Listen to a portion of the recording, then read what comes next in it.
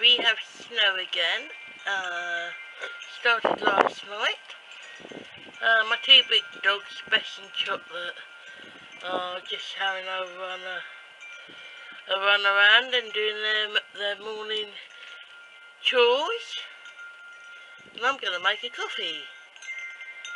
So,